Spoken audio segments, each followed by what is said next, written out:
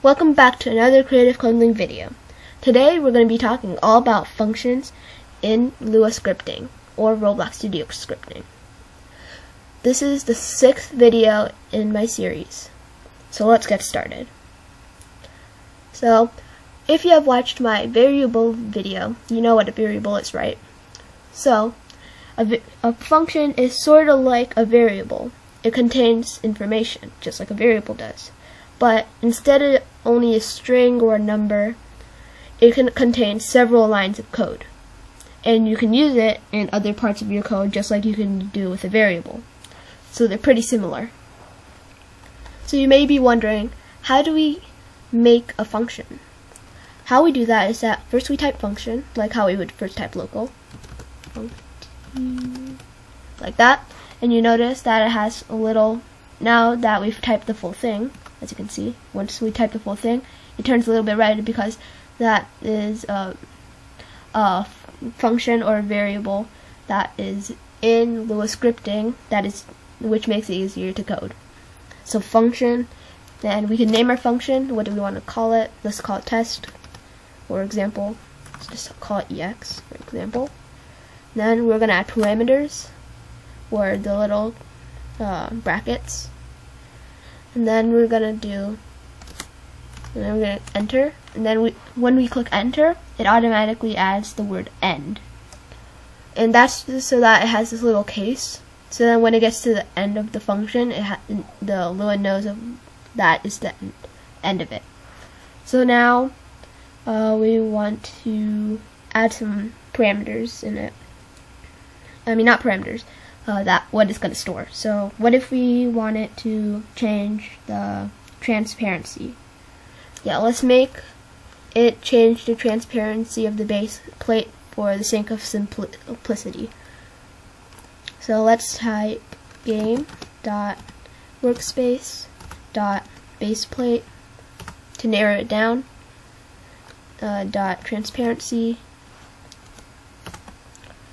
is equal to, let's make it 0 0.5 or 0.8, how about that, to make it even more transparent. There you go. So now it stores this piece of information.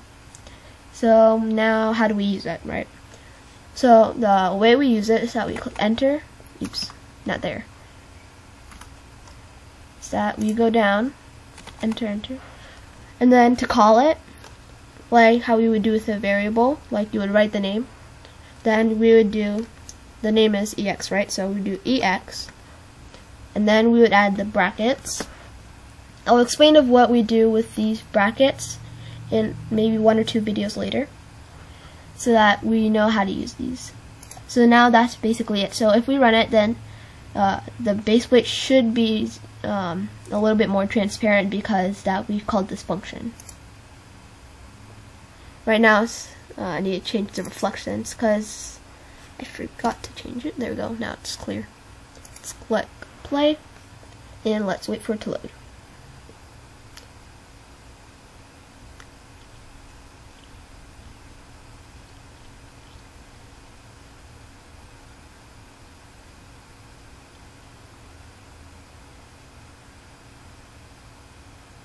There we go.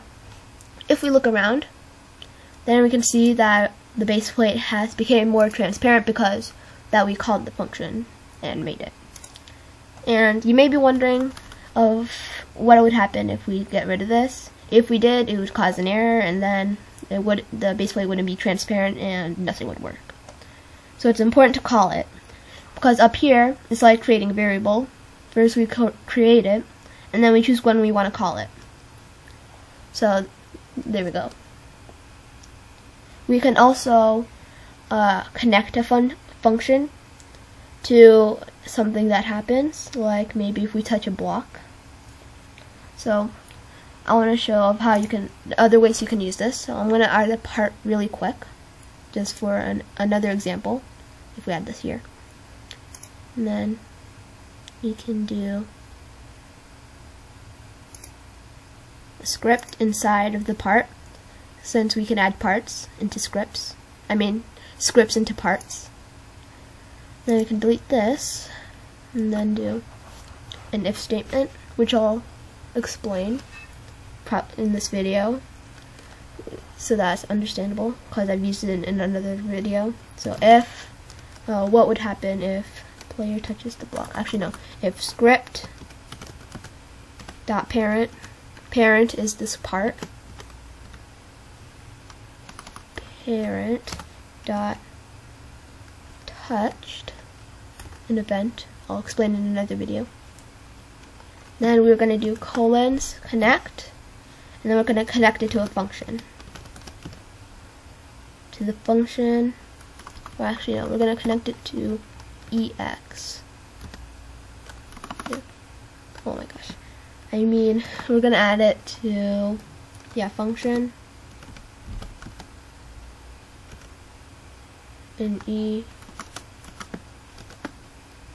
ex function. And then we're going to do enter. And then we can do our transparency. Yes make it uh, game dot workspace dot transparency I mean no part dot transparency to 1 equal 1 so what's happening here is uh, some new things that happened that I've added is the connect and these other brackets. So what happens is that we're checking in this little function right here if the if the parent of this the script that we're writing in, which is the part, is touched by anything, we connect it to this function right here. And then game.workspace.part transparency equals 1, which would make it invisible if we touch it, if we run this. So if we wait for the Roblox testing to load in,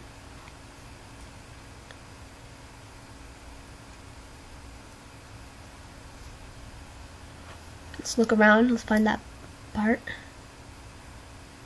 Um, Alright.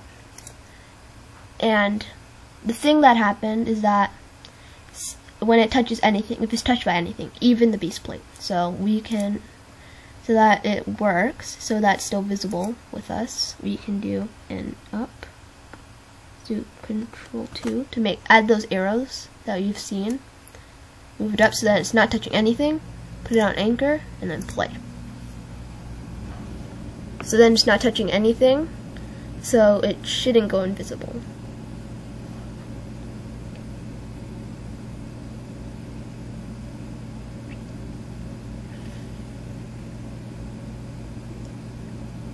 Okay, so let's look around. There's the block. As you can see, it's still visible because it's not touching that base plate. And now if we touch it, boom, it's gone. But it's still there. It's not, as you can see, my player is not really jumping properly because it's under the block. Still visible, it's just transparent. Parkour onto it. You can see, yeah, floating. Ta-da. So that's a, two ways you can use a function. So we can, so what we have learned today. So we've learned how uh, we can call a function, create a function, and connect a function to an event, like an if statement. So what we did so far, is if we check this one, we learned how to call a function. To call a function, basically, is to do function, then ex, then we can, and then what we do next is uh, click enter to at the end, and then we can type in what we want to happen. And another important thing that we need we learned is that to call it by typing the name and the parameter and the brackets like that. So then it can actually run. And then what else we learned is what if we want to connect it to if something happens.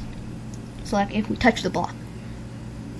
Now that we checked that out, so then whatever uh, happens if the part is touched, then connect it to this function here, which runs this code, the part to be transparent completely when anything touches it.